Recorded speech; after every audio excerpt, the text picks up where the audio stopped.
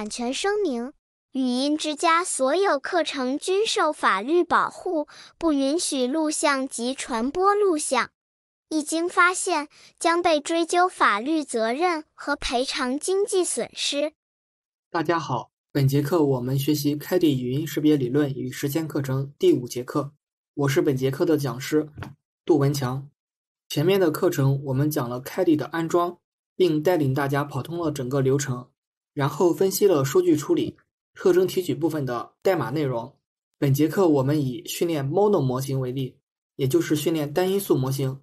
分析训练的流程，并对训练过程中产生的文件进行分析。右图是整个语音识别训练流程中 GMM 训练部分，总共有五个大模块，共分为十小步。大致的流程是先训练一个高斯模型，使用这个高斯模型对训练数据进行对齐，然后使用对齐后的数据再训练一个高斯模型。比如最开始我们先训练一个单因素模型，使用单因素模型。对训练数据进行对齐，然后基于这些对齐数据，我们再训练一个三因素模型，然后再使用三因素模型对训练数据进行对齐，然后再使用 LDA 等算法重估 GMM 模型，然后再对数据进行对齐。总的来说，模型训练的越好，对齐信息对得越准，越可以为后面神经网络训练提供好的对齐标签。整个 GMM 训练的五个模块思想都是一样的，甚至对齐的代码大部分也都是一样的。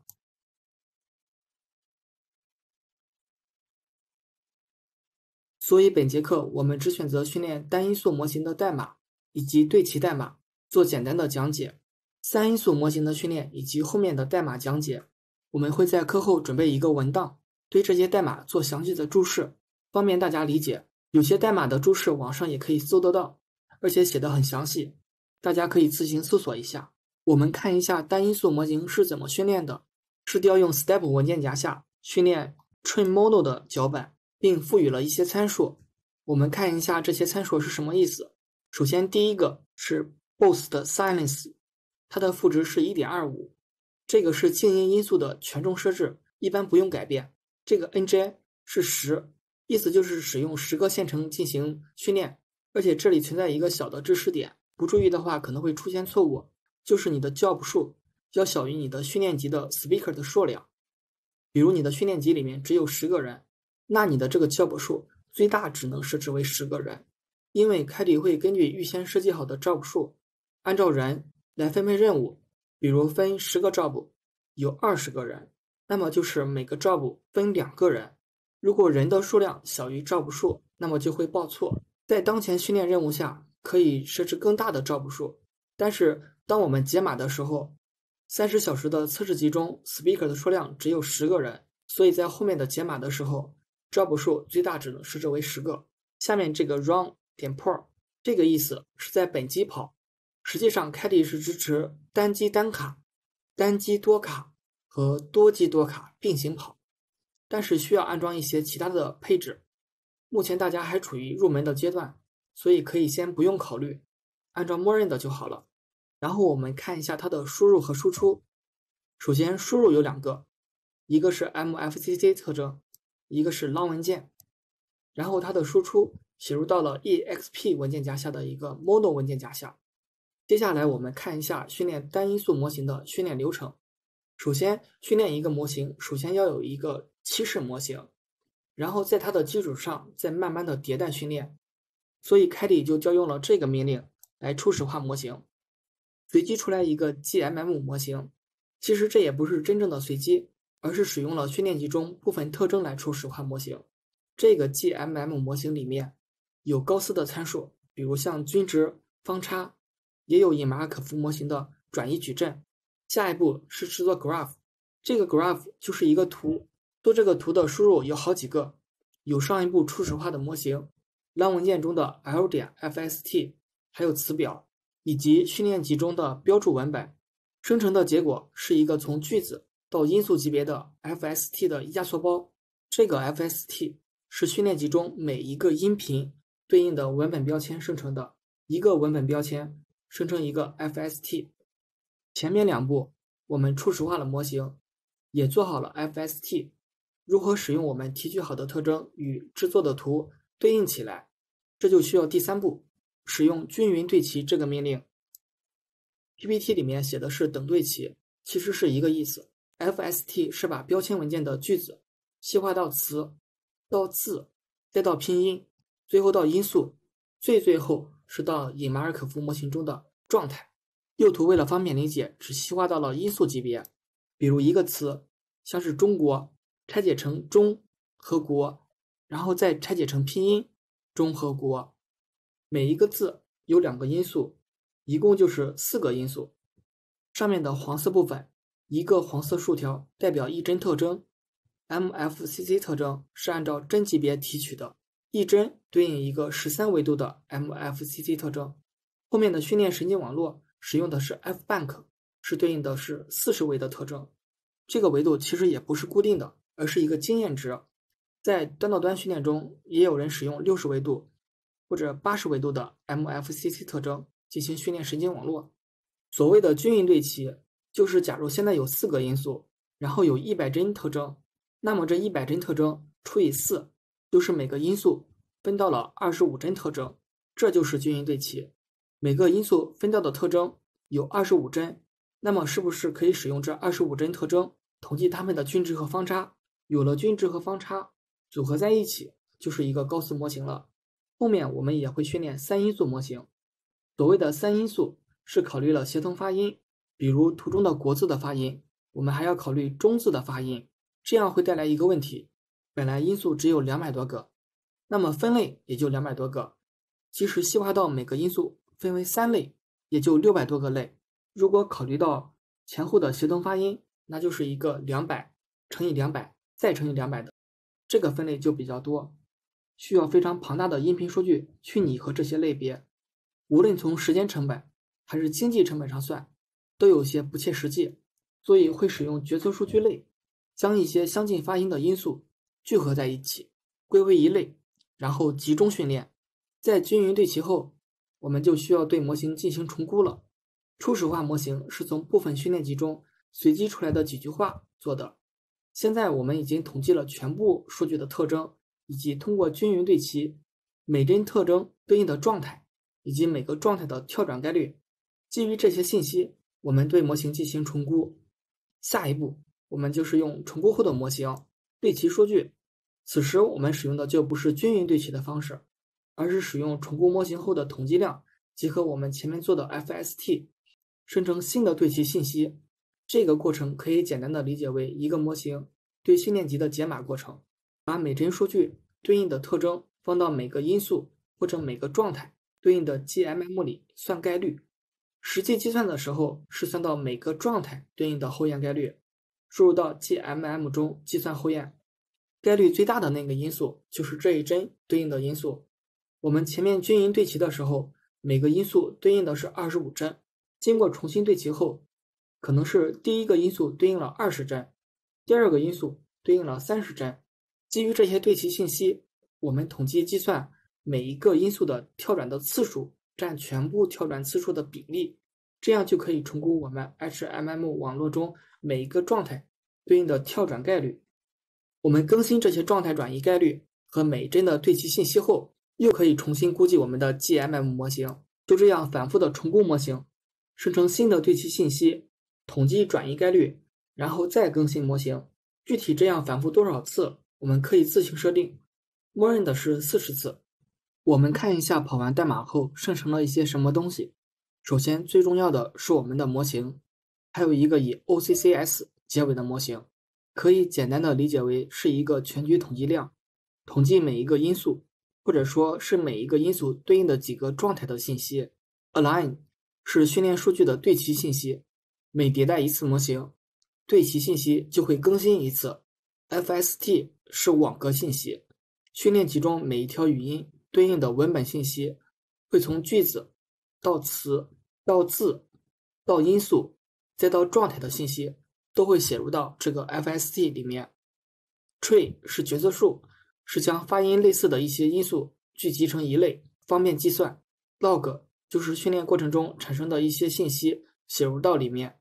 如果训练过程中出现一些问题，一般在相应的 log 中也能查到错误的位置和原因。我们看一下训练好的声学模型是什么样的。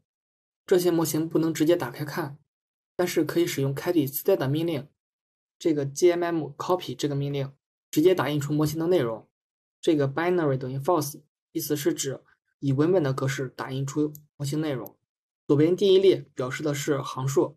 我们先看一下一到二十三行，这个好像有点熟悉，其实就是前面我们说到的拓扑图，也就是 HMM。模型的结构，我们前面有介绍过。从第七行到第十行是因素 ID 为二到二百一十八的以马尔可夫模型，其状态有三个。从第十六行到第二十一行是因素 ID 为一的，也就是静音因素的以马尔可夫模型，其状态一共有五个。最后一行，也就是第二十四行，这个六百五十六就是决策树最类的个数。一共分为六百五十六个。我们前面说到因素总共才有二百一十八个，那么为什么可以聚为六百五十六个类呢？我们继续往下看，我们继续看模型后面的内容。第一列还是行数，第二列我们看到结尾是二百一十八，这个二百一十八刚好跟我们的因素个数是一样的，每一个数字代表的是我们的峰 ID，也就是每个因素的编号。第三列我们看一下。从第二十五行到第二十九行是零、一、二、三、四，有五个。从第三十行到第三十二行是零、一、二。从第三十三行到第三十五行也是零、一、二。这刚好跟我们前面说到的，在以马尔可夫模型中，静音的因素有五个状态，而非静音的因素有三个状态。是一样的，所以我们可以认为这一列表示的是每一个因素对应的隐马尔可夫模型中的三个状态。第四列去掉开始和结束的行，总共是六百五十六行，刚好跟决策树的序列的个数是一模一样的。那么说明可能每一行表示的都是一个类。从上面的分析，我们可以认为我们一共有二百一十八个因素，去除静音因素比其他因素多了两个状态之外，其余的。都是三个状态，那么二百一十七乘以三加上一个静音因素是五，那刚好等于六百五十六，这就是我们决策树的聚类个数。可以认为单因素模型中是把每一个以马尔可夫模型中的每一个状态作为一个单独的类来训练的。我们继续往下看，因为后面的内容比较大，所以我就没有截图出来，大家可以自行打开看。但是我把主要的类写了出来。第六百八十二到第六百八十四行，也就是红色的框框里面的内容，是一个 probability，这里存储的是每一个类的后验概率。接下来说的是 dimension 是三十九，这个三十九刚好是我们输入的特征 MFCC 特征的三倍，这是因为输入的特征做了一阶差分和二阶差分，加上原来的特征就刚好是三十九维。这个 number PDF 是六百五十六。意思是这个模型中总共有六百五十六类，每一个类都会对应一个混合高斯模型。下面就是对六百五十六个混合高斯模型的描述。大家应该学过，一个高斯模型的描述只需要均值和方差即可。如果是一个混合高斯的话，那么是有多个高斯组合在一起，就是需要每一个高斯在混合高斯中的权重。比如上图中它的 weight 有两个。那么就说明描述这个因素的概率的混合高斯是由两个单高斯组成的，各自的权重分别是零点三九和零点六一，均值有三十九列，一个高斯对应一个三十九维度的均值，两个高斯就有两个均值。同样的方差也是这样，这里还有一个以 G 开头的 cons，这是一个超参，也是一个高斯对应一个。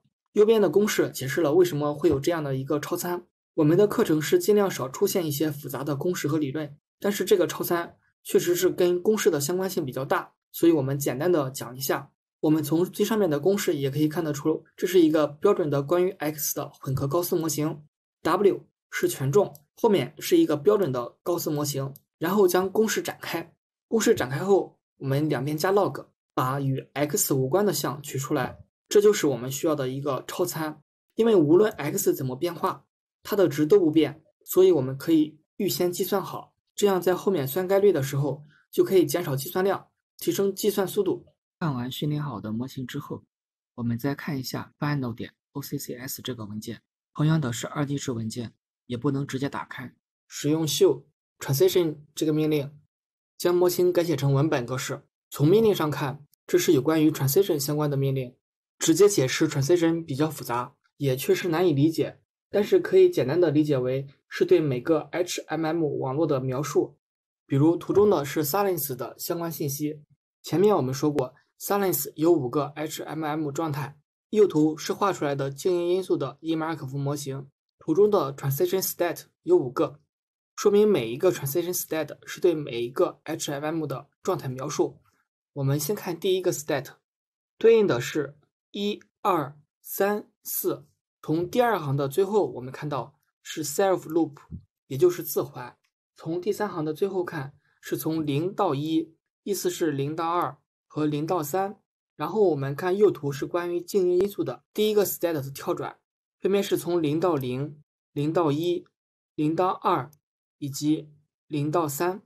然后我们再看第二个 state，对应的 transition ID 是五六七八。跳转的是从自环，然后一到二，一到三，一到四，依次类推。这个 count of PDF 从字面意思是一个统计量，就是统计这个 PDF 或者说这条 transition ID 对应的边总共出现过多少次。前面这个 p 表示的是概率。前面关于模型的拆解，尤其是 transition 相关的知识点，确实有点复杂，也不太好说清楚。大家可以先了解一个大概。不需要全部明白，我们讲的为了方便大家理解，可能比较浅，也可能一定程度上说有点不完全准确。前面的内容只是对模型加深一下理解，对我们后面的实践应用暂时影响不大。即使不了解，也不影响后面的工作。接下来的内容，我们讲一下如何利用这些训练得到的信息，比如我们怎么知道一段音频对应的信息。假如有一段音频，总共有五个字，它的长度是六秒。如何知道每一个字在音频中的对应位置？学习下面的内容，我们就可以知道了。我们继续看单因素的训练，都出现了一些什么文件？以 align 开头的是对齐信息，里面是我们的训练集中的文本标签对应的音频的位置。比如第五到第三十帧对应的是一个字，第三十五帧到第六十帧对应的是一个字。我们可以打开看一下里面的内容。调用的命令是 align to phone 这个命令。从这个命令上看，我们可以知道里面是每个峰的对齐信息。我们使用 align to phone 这个命令，然后加入这个 proframe，目的是统计每一帧对应的因素。因为我们提特征是按帧级别提取的，每一帧有十三维的特征，然后训练的时候也是一帧一帧的训练，所以我们得到的结果也是每一帧对应的结果。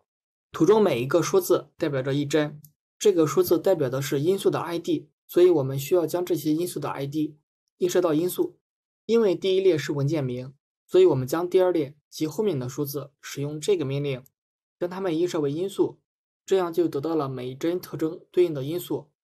然后我们使用 caddy 的命令，不仅可以看到每一帧对应的因素，我们还可以统计每一个因素它持续的时间是多长。我们还是继续调用 align to 峰这个命令，然后加入这个参数。就可以统计每一个因素对应的时长。右图是我们每一个因素持续的时间点，还有时长。第一列是文件名，第二列这个一可以暂时不用管。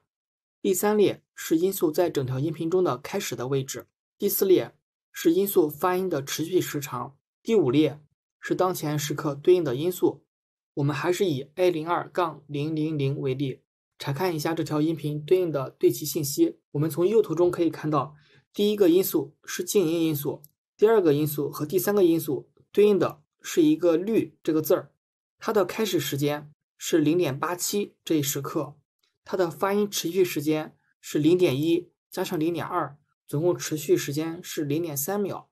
我们可以使用音频播放软件播放这条音频，可以大致看一下对的准不准。因为是单因素训练模型，可能对的不太准。我们后面还会持续的反复训练模型。目标就是让对齐信息对得越来越准。我们看一下 fst 这个文件，fst 里面的内容比较复杂，可以使用 fst copy 这个命令打开看一下里面的内容。里面存储的是每一条句子对应的 FST 网络。我们前面提到，音频的标签文件是一个句子，然后我们通过词表将句子分为词或者字，然后通过发音词典将词或者字映射到音素，然后我们通过 HMM 网络将音素再映射到为状态。FST 里面存储的可以理解为这些映射关系以及跳转关系，这个大家后面可以深入的学习，目前了解一下即可。关于决策树，我们可以使用 tree_info 这个命令查看 tree 里面的信息，里面一共有三行信息，第一行是 number PDF，也就是我们前面说到的类，一共分了六百五十六个类。第二行是 context with 是一，单因素模型不考虑前后因素。所以为一，如果是三因素模型，它的 context with 应该是三。下面是 central position 等于零，表示的是决策树的位置是零。如果是三因素，当前因为作为中间因素，central position 的值应该是一，前面的发音是零，后面的发音是二。我们也可以通过 draw tree 这个命令把决策树画出来，整个决策树画出来是非常大的。这里只截取了一部分，从图片上可以看到，silence 是一个子节点，下面对应着五个节点。对应着零、一、二、三、四，因素 A 一有三个节点，对应着五、六、七。至于我们前面说到的静音因素的隐马可夫模型有五个状态，其他因素有三个状态是一一对应的。关于 log，我们前面在提取特征阶段有介绍过 log。c a r d y 的 log 机制非常全面，百分之九十以上的错误，我们都可以从 log 上查看问题的所在，然后把问题在网上搜索一下，就可以找到答案。上面这三个 log，第一个 log 是模型初始化时产生的 log，第二个是在做 FST 的时候产生的 log，第三个 log 是做对齐的时候产生的。log 里面最前面是命令，后面是具体的执行过程。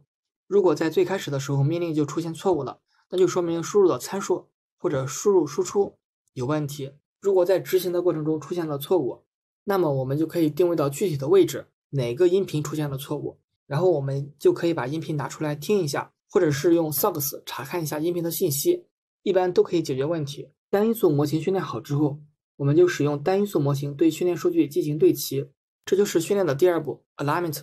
alignment 的输入是一个 MFCC 特征，第二个是上一步我们训练的单因素模型，输出就是对齐的信息。同样的方法，我们还是使用 align to 峰这个命令打印出来对齐的信息。然后我们跟训练 model 时的对齐信息对比一下，发现其对齐结果是一样的，这也可能说明单因素模型的对齐能力只能是这样了，需要换新的算法来提高模型的对齐能力。然后呢，我们最后对比一下 traceB 这个对齐的信息与单因素模型的对齐信息的差异，从时间点上看有细微的变化，比如静音因素的持续时长从单因素的零点八七到 trace 的零点八六。然后我们使用 SOX 命令就可以把对应的字裁剪出来，然后我们可以听一下对的齐不齐。关于前面的 GMM 训练部分就到这里，下节课有哈工大的石影博士给大家讲解神经网络的训练部分。本节课先到这里，再见。